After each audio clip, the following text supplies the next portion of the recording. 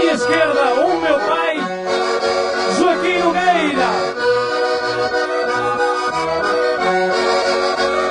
Logo a seguir, Rui Pereira.